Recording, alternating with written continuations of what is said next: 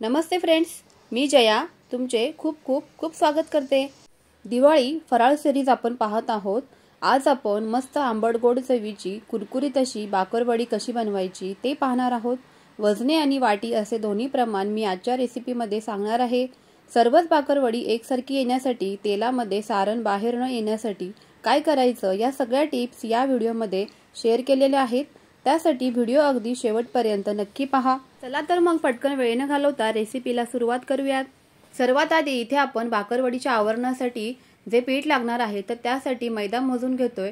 तर इथे मी वजनी प्रमाणामध्ये अडीचशे ग्रॅम आपल्याला इथे मैदा घ्यायचा आहे. आणि त्याचबरोबर वाटीच्या प्रमाणामध्ये जर मोजायला गेलो तर अडीच वाट्या इथे आपल्याला मैदा घ्यायचा आहे. मैदा घेताना शक्यतो तो बारीक झिरो नंबरच्या चाळणीने चाळवूनच घ्यावा. त्यानंतर इथे आपल्याला बेसन पीठ घ्यायचं आहे. तर बेसन पीठ पंचवीस ग्रॅम घ्यायचं आहे म्हणजे आपल्याला अर्धी वाटी इथे बेसन पीठ वापरायचं आहे. आता बेसन पीठ का वापरायचं ते देखील मी पुढे सांगणारच आहे. पाकरवडीचे आवरण बनवण्यासाठी इथे तेल लागणार आहे. तर चाळीस ग्रॅम इथे वजनी प्रमाणामध्ये तेल देखील लागणार आहे. तर तेल आता गरम घ्यायचं की कोमट घ्यायचं की थंडच वापरायचं आहे ते सुद्धा मी पुढे सांगतच आहे व्हिडिओमध्ये. आता इथे आपण जे सारण बनवणार आहोत तर त्यासाठी इथे मी जिरे घेतलेले आहेत धने घेतलेले आहेत बडीशेप घेतली आहे तिळी घेतलेत आणि हे सगळं साहित्याचं प्रमाण मी डिस्क्रिप्शन बॉक्समध्ये देतच आहे. त्यामुळे जर का तुम्हाला काही सामानाबद्दल जर काही शंका असेल तर तुम्ही डिस्क्रिप्शन बॉक्स नक्की जाऊन चेक करायचं आहे. चमच्याचं प्रमाण देखील पुढे जाऊन मी सांगणारच आहे. या सर्वच मसाल्यांची नावं आणि प्रमाण मी वरती स्क्रीनवर देत आहे. एक एक मसाला दाखवण्यासाठी व्हिडिओ खूपच मोठा होऊन जाईल. त्यामुळे तुम्ही डिस्क्रिप्शन बॉक्स नक्की जाऊन चेक करा आणि स्क्रीनवरती देखील मी नावं दिलेली आहेत तर तुम्ही ती व्यवस्थित पाहून घ्याल. आता आपण जो गुळ आणि चिंच घेतली होती तर ती एका छोट्या कढईमध्ये अशी काढून घ्यायची आहे. यामध्ये एक वाटी पाणी घालायचं आहे. त्यापेक्षा जास्त पाणी घालायचं नाही आहे नाहीतर हे दाटसर होणार नाही. खूप जास्त पातळ होऊन जाईल. घट्टसर असंच आपल्याला इथे हे चिंच आणि गुळ शिजवून घ्यायचं आहे. त्यामुळे पाण्याचं परफेक्ट प्रमाण इथे घालायचं आहे. आता हे पूर्णपणे अगदी बारीक गॅसवरती आपल्याला शिजवून घ्यायचं आहे चिंचेचा पूर्णपणे जो गर आहे तो निघला गेला पाहिजे. अशा पद्धतीने आपल्याला हे शिजवण्यात घ्यायचं आहे आणि त्यानंतर आपल्याला हे गाळणीने असं गाळवूनच घ्यायचं आहे. तुम्ही इथे पाहू शकताय मस्त अशी चिंच चटणी सुद्धा आपली तयार झालेली आहे. सर्व घेतलेले साहित्य मी तुम्हाला जर दाखवून घेते चमच्याचं प्रमाण देखील सांगते. आता इथे मी तीन चमचे साखर घेतलेली आहे.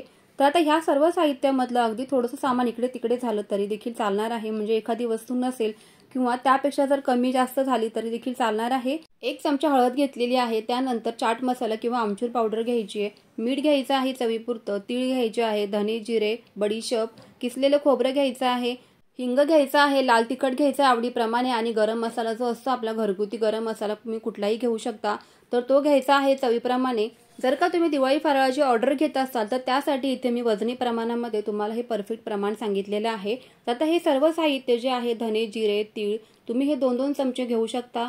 आता त्यानंतर इथे आपण लगेचच पिठाचं जे आवरण आहे आपल्या बाकरवडीचं तर ते इथे बनवायला घेऊया. तर त्यासाठी इथे एका मोठ्या ताटामध्ये मी मैदा काढून घेतलेला आहे.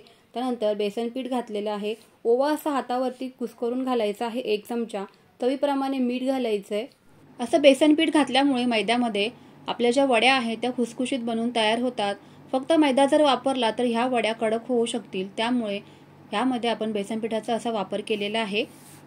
आणि इथे आपण जे तेल घेतलं होतं तर ते तेल जे आहे ते रूम टेम्परेचरच वापरायचं आहे. अजिबात तेल गरम वगैरे करायचं नाही आहे थंड तेलामुळे वड्या अशा खुसखुशीत बनतात. ज्यावेळेस आपण थंड तेल वापरतो तर त्यावेळेस हे जो पदार्थ आहे तो असा खुसखुशीत होत असतो. आणि कुरकुरीत ज्यावेळेस आपल्याला पदार्थ एखादा बनवायचा तर त्यावेळेस आपण इथे कडकडीत मोहन घालत असतो. तर ही गोष्ट इथे लक्षात ठेवायची आहे. आता त्यानंतर आपण लागेल तसं अगदी थोडं थोडंसं पाणी घेऊन हे पीठ सैलसर असं मळून घेणार आहोत. सैलसर असे पीठ मळून झाल्यानंतर हे पीठ पुन्हा आपल्याला एका ओला रुमालाने झाकूनच ठेवायचं आहे जेणेकरून आपलं जे पीठ आहे ते कोरडं नाही पडणार किंवा सुकणार नाही तर असंच हे दहा मिनटं बाजूला ठेवून देऊया तोपर्यंत इथे आपण पाकरवडीचं सारण बनवायला घेतोय. गॅसवर मी इथे एक जाड तळाची कढई ठेवलेली आहे. धने जिरे बडीशप आणि तिळ जे आपण मोजून घेतलं होतं ते सर्व साहित्य या कढईमध्ये हलकासा रंग बदलेपर्यंत भाजून घ्यायचे. गॅस अगदी स्लोच ठेवायचा आहे इथे. त्याचा हलकासा सुगंध येईपर्यंत आपल्याला फक्त हे भाजून घ्यायचे आहे. खूप जास्त करपवायचे नाही आहेत किंवा त्याचा कलर देखील चेंज करायचा नाही आहे तर हलकेसे आपल्याला हे भाजून घ्यायचे आहेत त्यानंतर लगेच यामध्ये जे आपण खोबरं घेतलं होतं एक वाटी तर ते खोबरं यामध्ये घालायचं आहे. आणि ते खोबऱ्याचा देखील आपल्याला रंग बदलवायचा नाही आहे हलकंसं फक्त हे असा कुरकुरीत होईपर्यंत हे खोबरं आपल्याला परतूनच घ्यायचं आहे एक ते दोन मिनिटभर. त्यानंतर एका मोठ्या ताटामध्ये हे काढून घ्यायचं आहे आणि पूर्णपणे हे जे पदार्थ आहेत ते थंड करून घ्यायचे आहेत. आणि मगच आपल्याला मिक्सरमध्ये फिरवायचे आहेत. थंड झाल्यावर देखील त्याचा कुरकुरीतपणा जो आहे तो वाढतो आणि हे जे पदार्थ आहे ते मस्त असे एकसारखे बारीक होतात. आता हे सर्वच एका मोठ्या मिक्सरच्या भांड्यामध्ये इथे मी काढूनच घेते. आता यामध्ये दोन तीन चमचे आपण साखर घेतली होती तर ती साखर देखील लगेचच घालून घ्यायची आहे. मिक्सरमध्ये फिरवताना हे जे मिश्रण आहे ते खूप जास्त बारीक न करता आपल्याला जाडसर असंच ठेवायचं आहे. म्हणजे रवाळ असं हे टेक्स्चर आपल्याला ठेवायचं आहे अशा पद्धतीने तुम्ही इथे पाहू शकताय. बाकी जे उरलेले मसाले आहेत ते यामध्ये घालून घ्यायचे. मीठ घालायचं आहे चवीपुरतं. खूप जास्त मीठ देखील नका घालू. त्यानंतर इथे आपण जे चाट मसाला घेतलेला किंवा आमचूर पावडर घेतलेली तर ते घालायचं आहे. मसाला घालायचा आहे घरगुती गरम मसाला दोन चमचे. तुमच्या आवडीप्रमाणे. त्यानंतर हिंग घालायचं आहे हळद घालायची आहे लाल तिखट घालायचं आहे आणि हे सर्वच पुन्हा आपल्याला पल्स मोडवरती फिरवून घ्यायचं आहे खूप जास्त देखील बारीक न फिरवता हे जाडसर असंच राहील याची इथे काळजी घ्यायची आहे. भाकरवडीचा संपूर्ण आपला इथे मसाला बनवून तयार झालेला आहे. आंबडगोड अशी चिंच चटणी सुद्धा तयार आहे. पीठ सुद्धा तयार आहे मळून झालेलं आपलं. आता लगेचच आपण इथे बाकरवडी बनवायला घेऊया. तर त्यासाठी आता हे पीठ जे आहे ते पूर्ण आपल्याला इथे मौसूद करून घ्यायचं आहे. तर आता इथे मी असा ओट्याचाच वापर करणार आहे. तर इथे ओटा जो आहे तो मी स्वच्छ साफ करून घेतलेला आहे. आणि त्यावरतीच आपल्याला इथे जी पोळी आहे ती अशी लाटून घ्यायची आहे. कारण पोळपाट्यावरती ही पोळी लाटताना पुरणार नाही. म्हणून इथे मी ओट्याचाच वापर करत आहे. खूप जास्त आपल्याला मोठी आणि पातळ अशी ही जी पोळी आहे ती लाटून घ्यायची आहे. त्यामुळे इथे मी ओट्याचाच वापर करत आहे.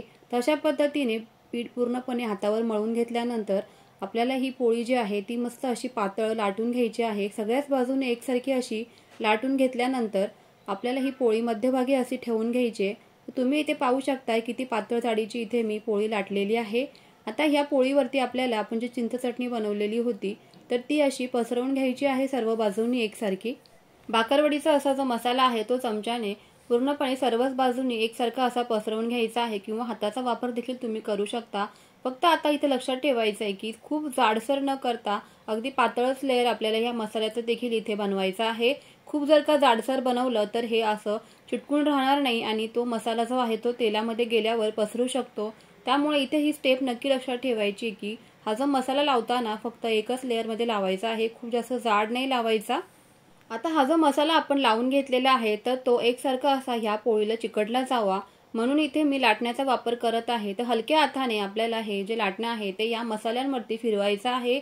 खूप जास्त देखील प्रेस न करता हलक्या हाताने अगदी हळुवार पद्धतीने हे लाटणं सगळीकडे असं फिरवून घ्यायचं आहे. जेणेकरून तो मसाला जो आहे तो आपल्या चटणीला चिटकून बसेल. लाटणं फिरवून झाल्यानंतर अशा पद्धतीने तुम्ही इथे पाहू शकताय अगदी बोटांचा वापर करून आपल्याला ह्या ज्या बाकरवडीच्या आवरणामध्ये असा गॅप अजिबात ठेवायचा नाहीये. पूर्णपणे बोटांचा एकसारखा असा वापर करून सगळ्या बाजूने एकसारखी ही जी वडी आहे ती अशी वळली गेली पाहिजे. अजिबात यामध्ये हवा जाता कामा नये किंवा गॅप राहता कामा नये इथे ही काळजी घ्यायची आहे. आणि त्यानंतरच आपल्याला हा जो रोल आहे तो असा एकसारखा फिरवायचा आहे. एका दिशेने मी दाखवते त्या पद्धतीने हा जो रोल आहे तो पूर्णपणे असा हळवार पद्धतीने फिरवून घ्यायचा आहे. कडा ज्या आहेत त्या आपल्याला पाण्याच्या मदतीने पूर्णपणे मी दाखवते त्या पद्धतीने आपल्याला ह्या ज्या कडा आहेत त्या व्यवस्थित अशा बंद करून घ्यायचा आहे पाण्याचा वापर करायचा शक्यतो जेणेकरून ह्या ज्या कडा आहेत त्या पटकन अशा चिकटल्या जातील एकमेकाला आणि कढईमध्ये गेल्यावर आपल्या ज्या ह्या कडा आहेत त्या मोकळ्या नाही होणार.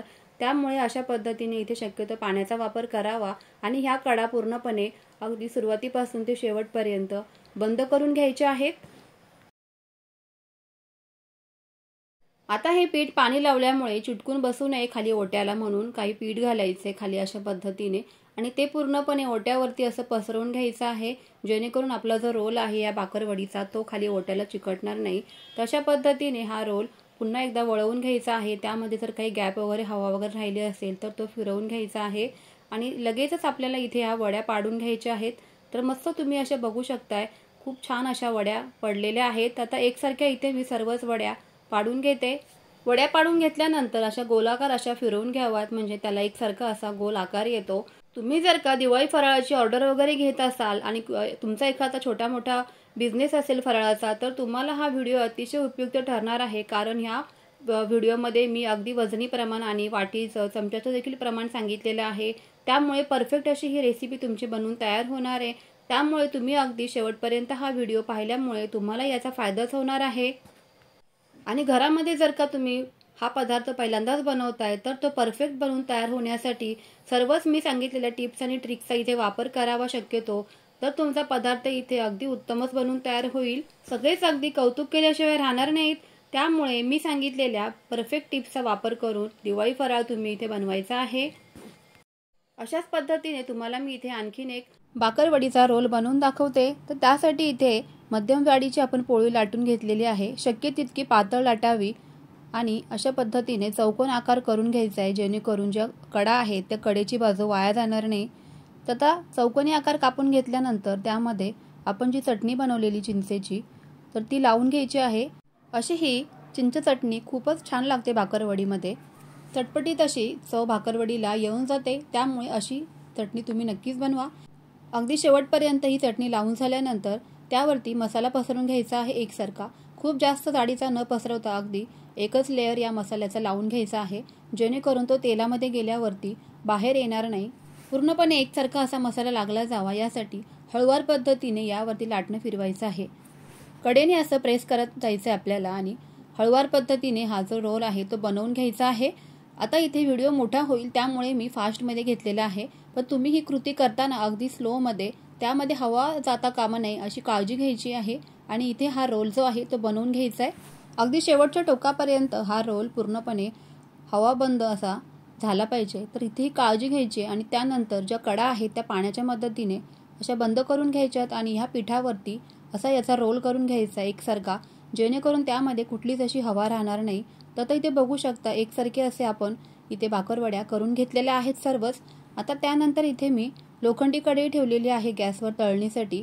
तर तेल इथे आता गरम झाले कितपत ते पाहूया आपण. तो स्पॅच्युला जो आहे तो अशा पद्धतीने जर का फेसाळला गेला तर समजावं की तेल इथे मध्यम गरम आपलं झालेलं आहे. आता आपण ज्या वड्या केलेल्या आहेत त्या ह्या तेलामध्ये घालून घ्यायच्या आहेत. सुरुवातीपासून अगदी शेवटपर्यंत इथे गॅसची फ्लेम कुठेही हलवायची नाही आहे मध्यम गॅसवरती आपल्याला या सर्व वड्या तळूनच घ्यायच्या आहेत बाकरवड्या कढईमध्ये घातल्याबरोबर लगेचच उलटायची घाई नाही करायची. त्याची हलकीशी खालची बाजू रंग बदलल्यानंतर त्या उलटून घ्यायच्या आहेत. सारख्या सारख्या न हलवता एकसारख्या अशा ह्या तेलामध्ये भाजून द्यायच्या आहेत आणि त्यानंतरच आपल्याला ह्या वड्या ज्या आहेत त्या पलटून घ्यायच्यात आणि एकसारख्या रंगावरती तांबूस रंगावरती या वड्या भाजून घ्यायच्यात. खूप जास्त डार्क रंग न करता ह्या काढून घ्यायच्यात लगेच कारण त्याची कुकिंग प्रोसेस चालू राहते आणि नंतर सुद्धा याचा रंग बदलतो. चिंचेची आंबटगोड चटणी लावल्यामुळे मसाला अगदी आतपर्यंत हा चिकटला गेला आहे आणि लाटण्याचा वापर केल्यामुळे ही टिप्स आपण इथे वापरल्यामुळे मसाला देखील अगदी परफेक्ट हा आत्म आतपर्यंत बसलेला आहे. अजिबात तेलामध्ये हा मसाला सुटत नाही. तर मी सांगितलेल्या बरोबर टिप्स आणि ट्रिक्सचा इथे तुम्ही वापर केला. तर तुमच्याही बाकरवड्या अशाच मस्त बनून तयार होतील. अशाच पद्धतीने सर्वच बाकरवड्या इथे मी तळून घेते.